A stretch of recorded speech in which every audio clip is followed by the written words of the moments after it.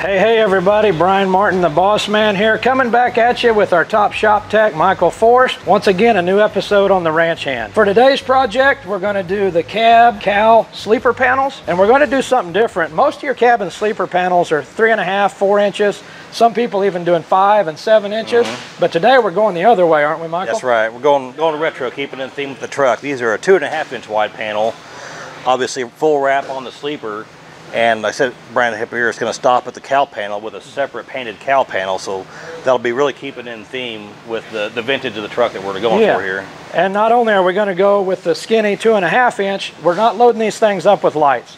Just clean, yep. smooth stainless. We probably will put a glass cab light down here on the bottom of the wide cowl. This kit is uh, something we get from our friends up at 12 Gauge in Canada. Something a little bit different than what we've been doing the last decade or so. Yeah, for sure. And I think it's really going to be a unique, like clean, crisp look and really finish out this bottom of the truck real nicely. And then what do you think about this masterpiece that Peterbilt uh, put on at the factory here? Well, it's great for 2023, but of course that's not what we're going for. So we'll probably change that with something uh, keeping in theme with the cab yeah. lights. and Let's say we're going to make an upgrade here on the turn signal and then we're going to throw a, a, glass cab light down here in the wide cowl panel. So can't wait to see the finished product. I guess that being said, it's time. Yep, we better get at it.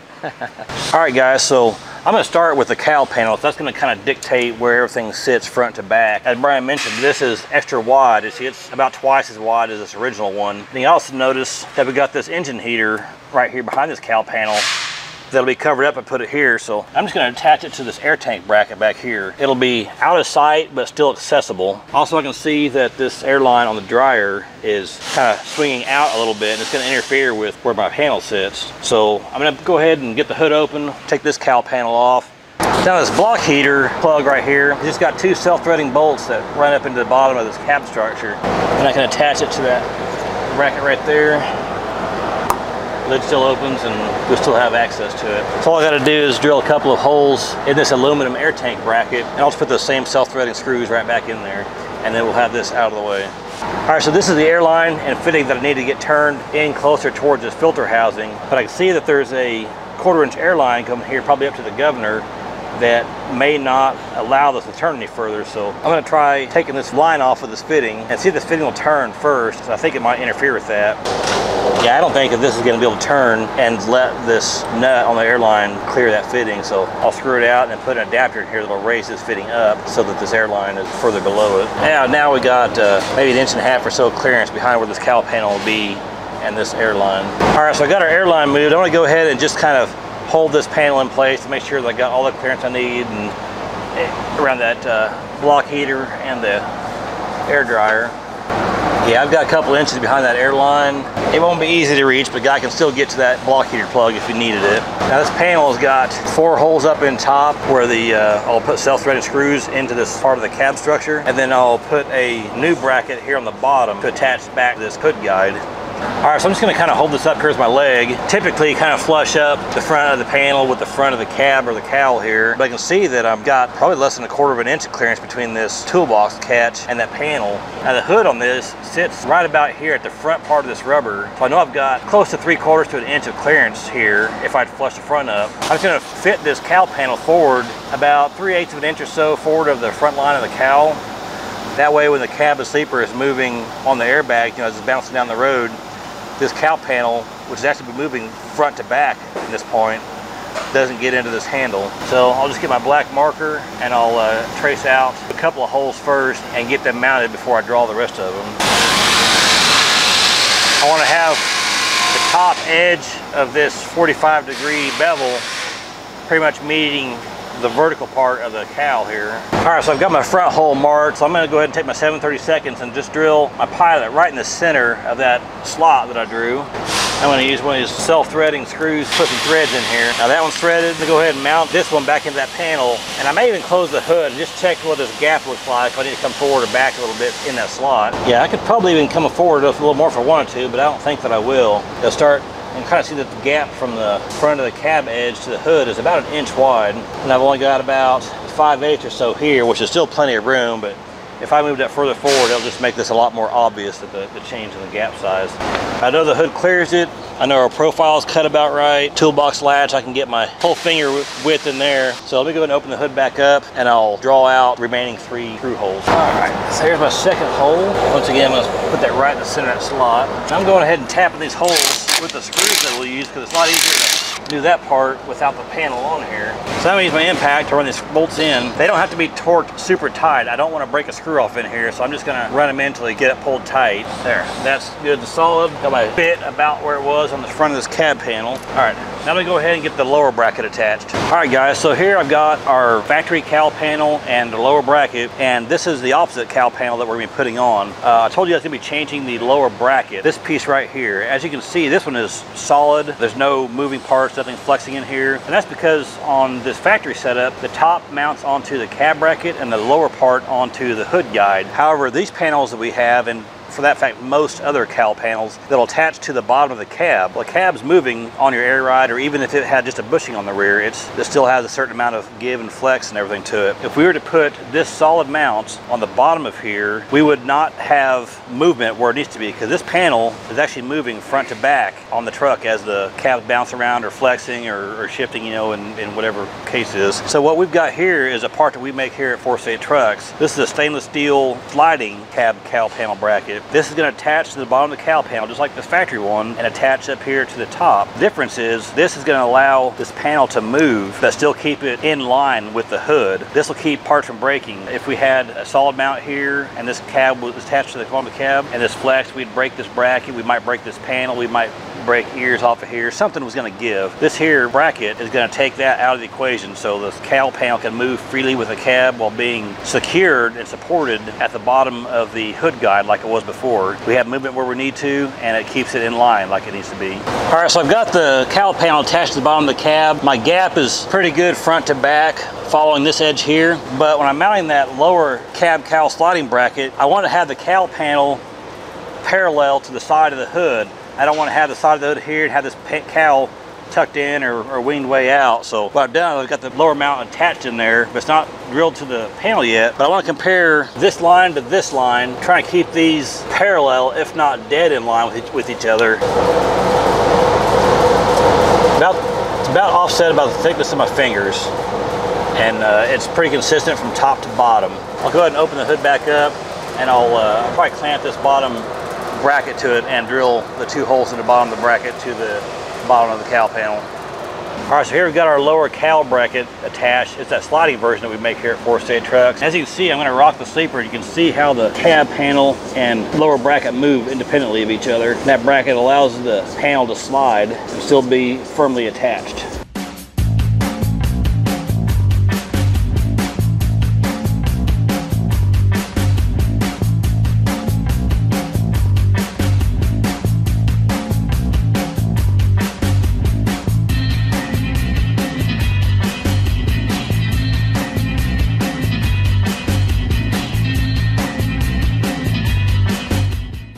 So now we've got our cowl panels on both sides. I'm gonna move on to the stainless cab panel. It'll start just behind this cowl panel, come along here and actually wrap underneath this rear corner. So it'll follow this contour of the cab all the way around. All right, so here we've got our passenger side cab panel. Like I said, it's gonna start here at this point. There's obviously be a gap in here. We've got one, two, three mounting holes to go into the bottom of the cab structure and then a, a, couple of holes here on this tab on the rear. Something to note is this raised tab needs to go on the underside of the cab, not wrapped around like this because then our our lines get way off and our offset from our cab to our panels off. It'll set in underneath like this. Now when you look at this from distance, you'll have the same height all the way around here. So what I'm gonna do is connect the cowl panels. I'm get this into position. I'm leave about a finger's width. I can put a tape measure on it if I wanted to and get exact, but I can use my fingers for a gauge pretty well. You see we got a nice little contoured cut here, so it kind of starts following the contour of the cowl panel. It's a really nice touch they have there. Go and get that set about where it needs to be. I'll mark one hole, and I'll drill that and run a self-threading screw there like I did with the cowl panels. All right. So there we've got that one self-tapping screw in there holding this in place. Just want to go ahead and get this in position the rest of the way. Slot the holes on top again for adjustments. I want to go ahead and just check my gap one more time. I got just enough room for my finger to fit in there. And also want to make sure that the sleeper panel is directly flush with the face of this panel here. You can see I can have this thing pulled in and it would step off or move too far out and have a, an edge shown. I don't want to have that. I want to have it pulled out here it's a flat line all the way down. So at this point, I'm gonna go ahead, I'm gonna draw my next holes here. So go ahead and drill these two. I'm gonna self tappers in those holes. All right, so now I'm gonna mount this one last time. It'll be the final time. I'll actually drill these holes after this is mounted. So at this point, I'm gonna go ahead and pull off the protective PVC coating off of the stainless steel. All right. All right, so the three main ones, I've got my self-tapping screws into them. I've got two of them left to do here on the rear. And the reason I didn't mark those and pre-drill those is depending on exactly where this sits, it may change how high or far over anything the hole is on there. I definitely don't want to see my bolt kind of blown out through the bottom of this hole or see this end piece running downhill. So what I'm going to do is just check the height of my panel. I believe I've got exactly two and a half inch tall panel. And if this piece is wrapped around and turning downhill, this will be more than that distance here. Now see I've got two and three quarters clear out here, which means I need to raise this up. Obviously it wants to keep coming down, so I'm gonna tape myself a pair of large vice grips, put some protective tape on the end, pull this up in place where it needs to be, make sure that this is pulled all the way into the corner as well as possible, and one at a time drill these holes from my stainless part on the inside out to the body part. Now, got that one in, and the reason I didn't drill both of them from the start is if there was a little bit of space between this panel and this skin of the cab, when I tightened it up, it would pull that panel to it. And if there was already a hole there, my holes would not be aligned. So I put one in, tighten it up, and we go ahead and take my clamp off to let any slack pull out of it. Tighten it back up. I'll check my height one more time. Yeah, I'm good. And now I'm gonna drill the back one. I said, I don't wanna do both of them at the same time because one way or another, I would have a hole not lining up. Now there's that. All right. Now our cab panel is completely installed. You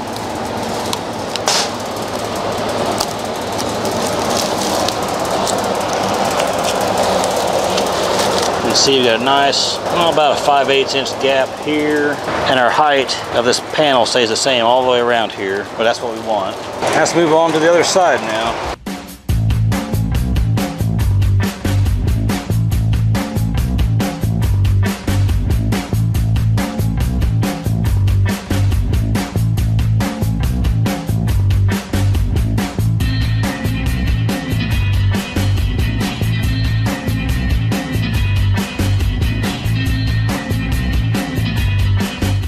I'll go ahead and move back here to the sleeper panel. It's gonna start about a foot around this corner, all the way around, all the way up here, and it's even gonna come in and fill in this cutout section between the airbag and the bottom edges of the sleeper structure here.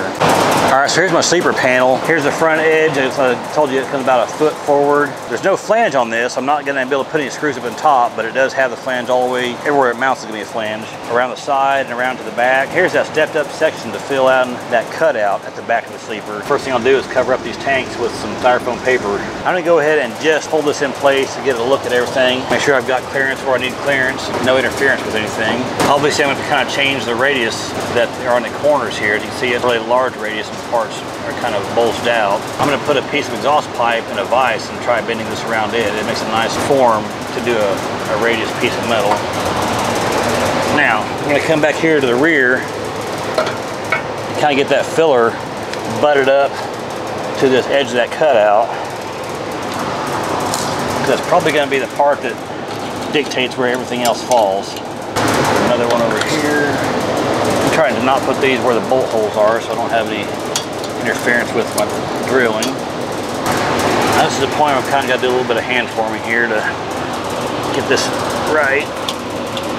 And this is what I don't want to see is looking at it from this point, you see the gap between these. So I'm just trying to maneuver, manipulate it by hand a little bit to get this radius just right, cover that up to match this and not show a gap in there. And that's pretty decent right there. It's ever so slightly under that, but if it was out flush with it, that gap would be a lot more obvious. So at this point, I'm gonna say that that's a better fit right there. I'm just gonna kind of follow this line all the way around and I can feel that Yeah, this is starting to set back inside of there, so let me go ahead and move this back out. Yeah, this, the way this, they built these sleepers, you can either follow this line or follow this line because it just overlaps. But I think I'm gonna maybe just find something kind of in the middle. And I'm pretty flush with this all the way up. You see I got this part is rolling around the corner way too soon. So I'm gonna kind of push it back out, take some of that bend out of it, and probably put some bend back into it a little further down.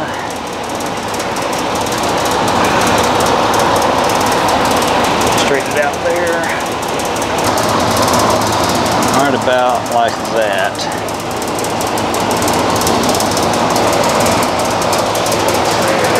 All right, I think that's where it's gonna set. All right, so this point I'm gonna go ahead and take my marker and just gonna mark all these holes. So that looks good. I'm gonna go ahead and take this one off and get all these holes drilled. All right, I'm just gonna put one clamp holding that up. And start get my end over here. Get all my screws started. A couple of them in the front. All right, that's pretty good for that one.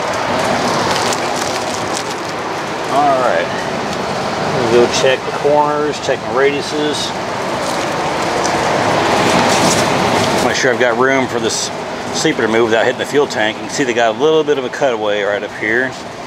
So you got about three inches of two and a half, three inches of room there. So I know I'll have plenty of room for the have clearance for the tank. All right, let's move on to the other side now.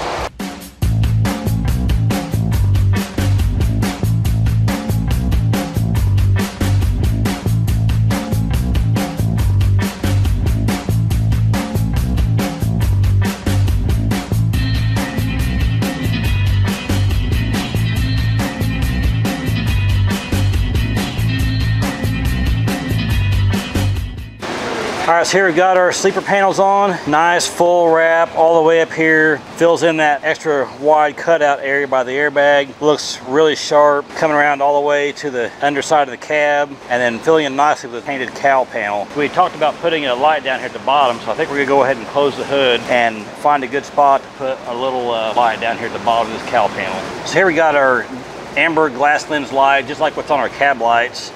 And uh, we're gonna put one of these down low on here somewhere. So let me go ahead and I'm gonna put some tape on the bottom of here so I can start laying out holes and everything to mount this.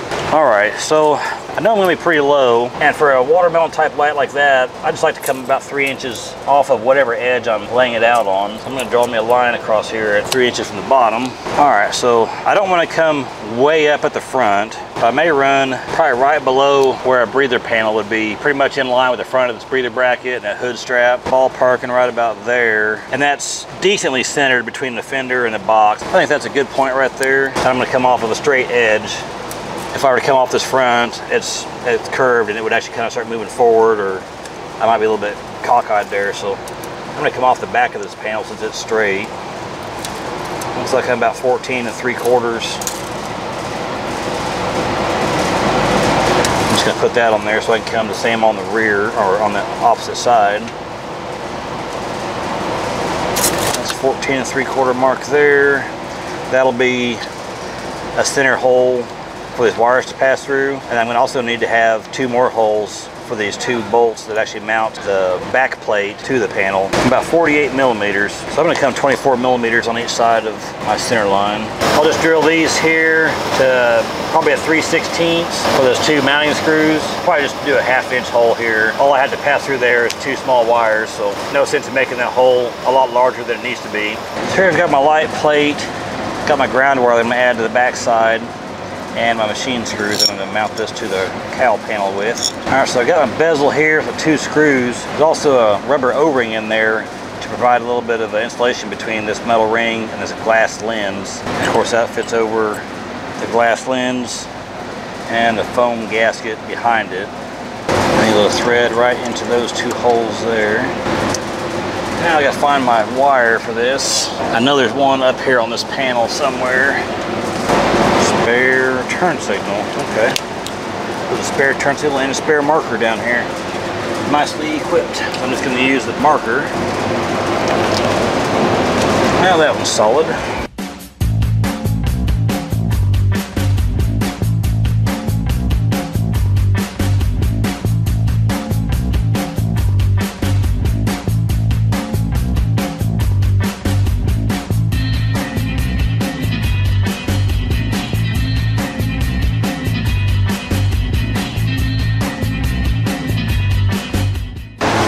Right, here we go. Clearance lights.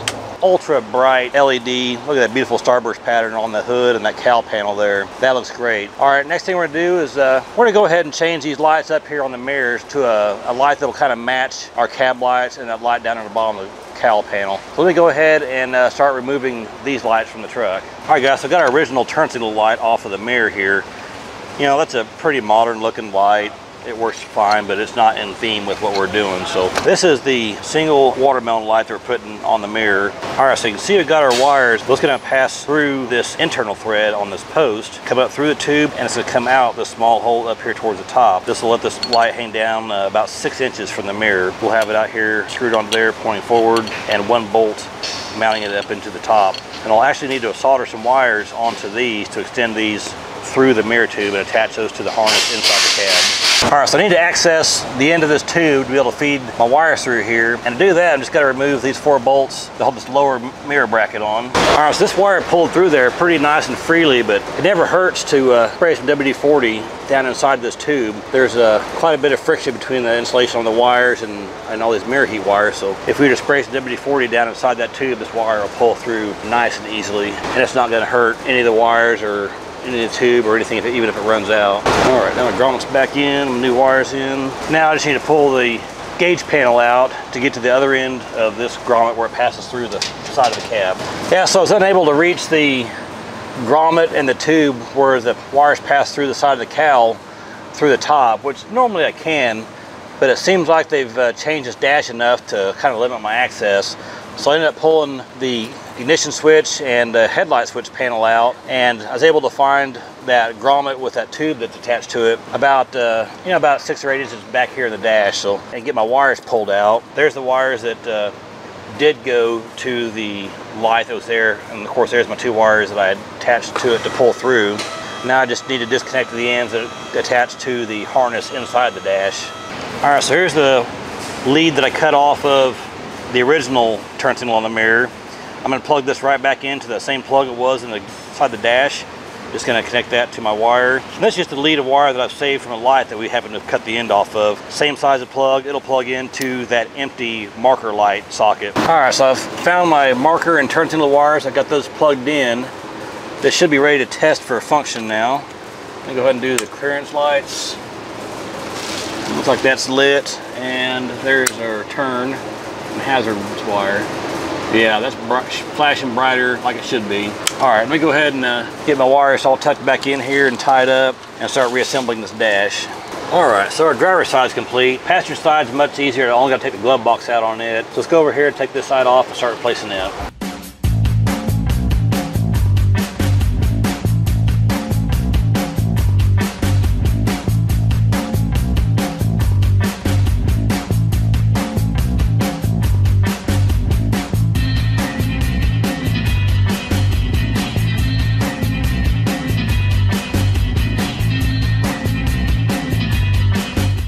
So we've got our lights all mounted, we've checked the function, everything works perfectly, they look great on here. But something we were thinking about, we might want to turn these lights facing outward just for a little bit uh, different look than going straight forward. If we want to do that, all we've got to do is back off that jam nut. We'll turn our light uh, straight out. We can even go angled if we wanted to, but let's try running them straight out to the side. I'll tighten our jam nut back up. And now we've got a light pointing straight sideways. And that can be turned 360 degrees any direction we want it to go.